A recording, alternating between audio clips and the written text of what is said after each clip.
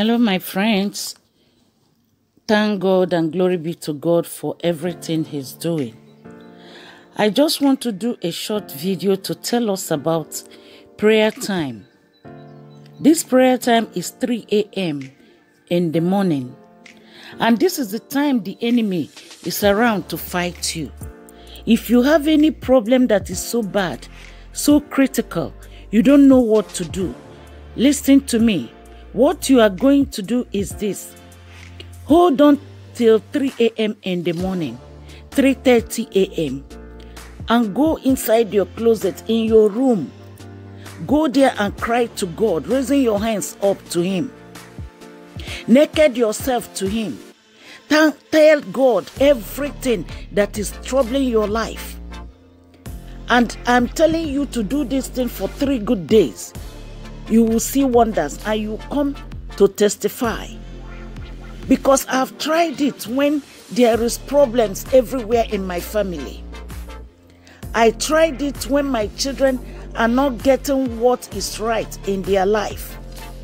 I've tried this when one of my auntie's child ran away from home and nobody knew where this child is and we take it up in our family. We pray to god.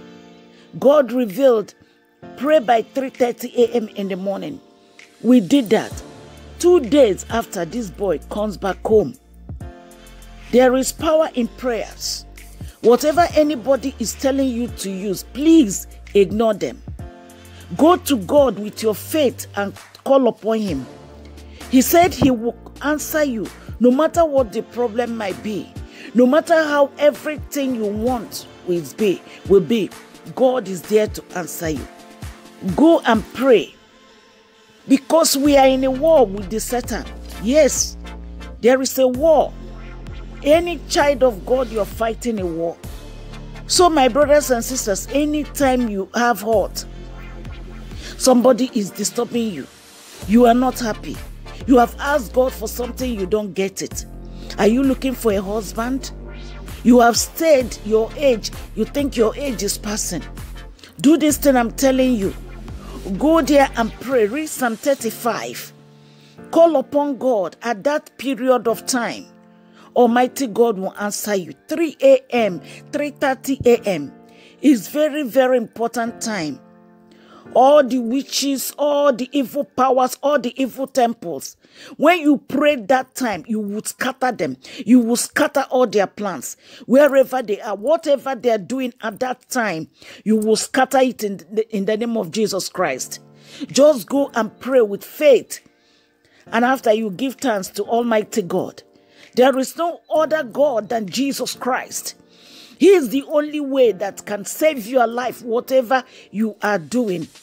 And anybody that say go and use this charm or this, know that all those things are temporal. They cannot last in the name of Jesus Christ. Just as a child of the Most High, go in and pray.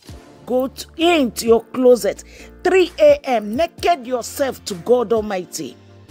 Don't look on anything. Do you lack money? Do you lack food? Go and ask God for it. Almighty God will send your destiny helpers to you. I'm telling you what I've practiced, and God heard my cry. There is nothing God cannot do. God can heal you. God can make a way. God can give you money. God can give you your own husband. God can give you your own children. There's a sister I know she comes to the ministry anytime because we have women ministry. This woman have not given birth for 14 good years. She has been suffering. She has been spending all her money. She came, I told her, go and ask God for this. Because you are in a war with Satan. Those people that is holding your children, sometimes she will tell me she had a dream where she has a child. I say, okay, that thing is going to the dream world. But now, go in, you have your child physically in the hand of God. Continue praying every 3:30 a.m. Go inside your closet and call upon God. Go and cry. Raise your hand up to heaven. Say, Father, I've come. Give me my own child. Pray. This sister prayed after she fasted for seven good days. She prayed and prayed and prayed. As I'm talking to you now, this sister is pregnant. And I know that God has wiped away all her tears.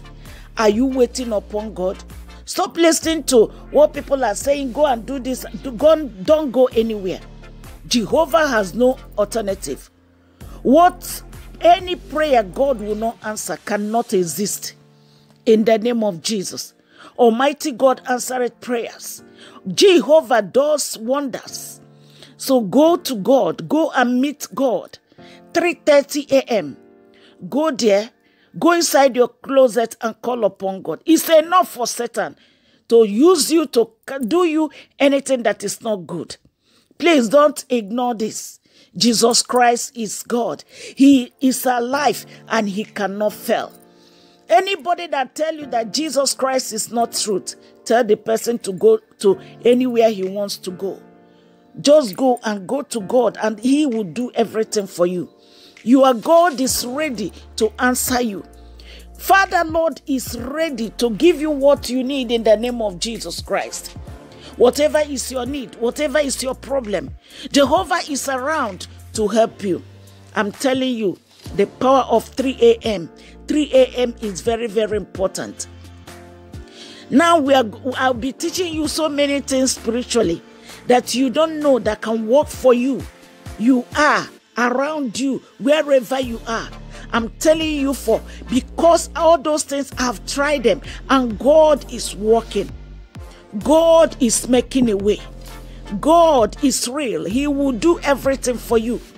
So, my brothers and sisters, this is a short video today. And I know as you are going to do all this, as I know as you are going to enter into this prayer, what you will do, listen and listen very well. Enter into fasting. You can fast from 6 a.m. to 12 noon. You can fast as the Holy Spirit directs you. You can fast from 6 in the morning to 3 p.m. or 6 p.m. as the Lord Almighty directs you.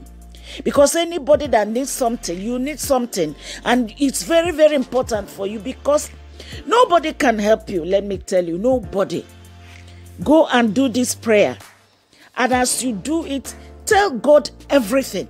Enough is enough for Satan. You will not be suffering like this. Jesus is alive. Read Psalm 35.